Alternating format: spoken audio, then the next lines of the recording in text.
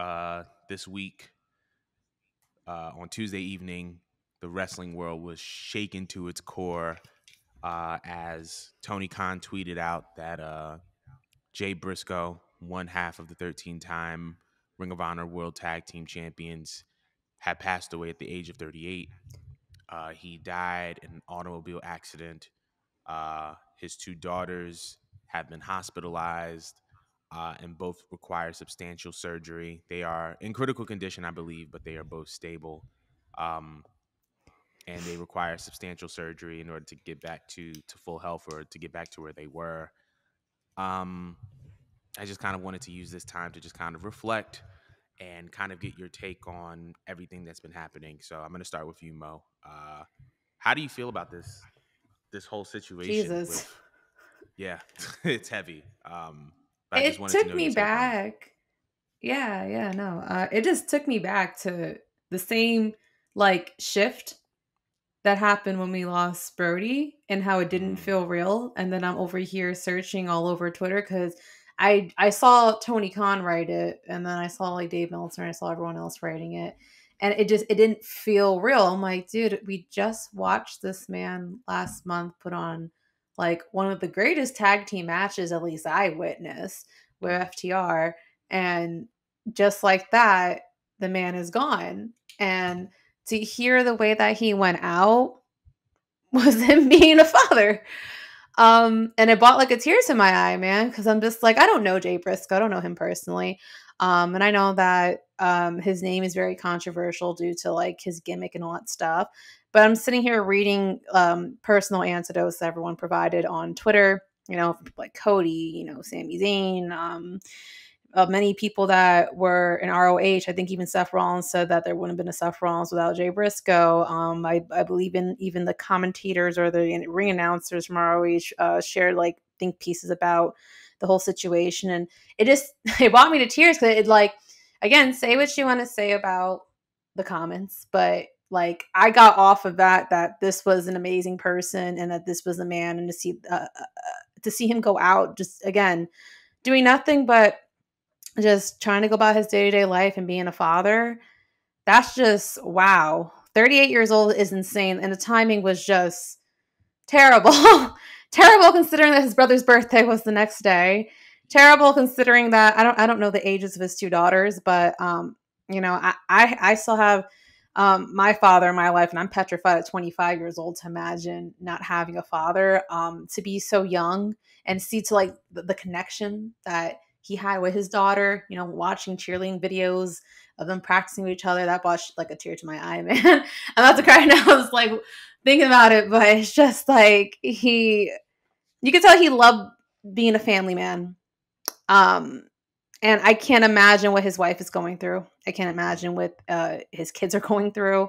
Um, from my knowledge, one of them I think is half paralyzed. I don't know if that's temporary. I don't know if that's a permanent thing but it's just it's tough all around and it's just like I- am still gathering like my thoughts towards it because just like damn like it's really insane how life just comes at you that fast and just like that this the smallest thing could happen and you're gone and everyone's life is just changed and shifted um it, it feels cold it feels cold is the best way to describe it right now. This the temperature in the wrestling world just feels very cold. On, on top of the other news that's been going on in the world um, right now, pro wrestling, this has to be the saddest one. Like I said, I had the same chills as with the loss of Brodie. Um, and I feel like it's going to take some time for fans to recover from this one. Um, I'm going to pause my thoughts right here and give you the mic on this. What is your reaction, I guess, to this situation? First off, I want to send my love, my well wishes, my my prayers to his family, his wife, all of his peers. Um there's an old saying that I saw a while ago about legacy where they said that legacy is not what you leave behind, but it's about what you leave in people. And when you hear these stories about about uh Jay Briscoe, you can tell that he left a lot of love. he left a lot of love in people and he left a lot of hope and good cheer and good character and yes you know obviously there were controversial comments and made in the past by him but you can tell that overall he was a good man and that he was a good father obviously a, a, a all-timer when it comes to the sport of professional wrestling. I think it's safe to say that the briscoes will go down as one of the best tag teams of all time easily the best tag team in ring of honor history. Um, and and sadly enough they died champions i mean the briscoes last match was against ftr to win those ring of honor tag titles and you know but more importantly than that and what kind of supersedes all of that is just his, man, it's it's just difficult. Like from a personal standpoint, these are one of those things that are very, very hard to process because, like you said, he he died being a father. He was taking his kids to to cheer practice, and you see videos beginning to circulate of him with his daughters, and seeing the daughters in the state that they're in, or hearing about the daughters in the state that they're in now, and we don't know if they're like paralyzed or severely injured, but going through all of that and then not being able to call your father or reach out to your father, I know is just traumatic and disheartening on just like a different level. And um, my heart just really just goes out to them. And you know, it, it one like you said, it kind of does remind me of the death of Brodie Lee in the sense that upon his passing, you heard all these these beautiful stories of who he was that I feel like a lot of us as fans didn't know about. We just see Jay Briscoe the performer. We just see him the wrestler. We just mm-hmm. see him mm-hmm. in the ring and you know, we don't really get a chance to get a, a a ringside seat at his life enough to to know who he was as a man and I think that now we know. And I think the only thing that we can kind of take from this is to just love on your loved ones, be present.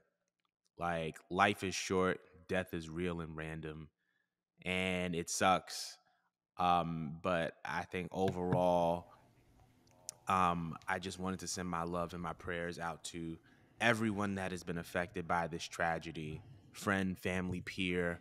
Um, this isn't the easiest thing to cope with and to deal with, but you know, this is this is kind of where we are and and I'm just sending my love and my prayers and all of this to everyone affected. Um think that's that's really all that I can I can say about this. Rest in peace, Jay Briscoe. Um yeah, that's about all that I can say. Um I think we're just gonna move on from that because that that felt right. Um we'll we'll talk about the other things. That's well said. Yeah, we'll talk about the other things and what to unpack from this later. Um, but that felt right. We just need to grieve on that. Um, mm-hmm.